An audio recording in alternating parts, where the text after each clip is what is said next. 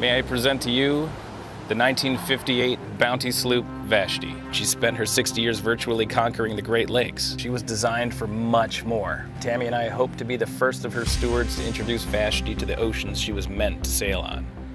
The only problem is, we don't know how to sail, but we're going to learn everything.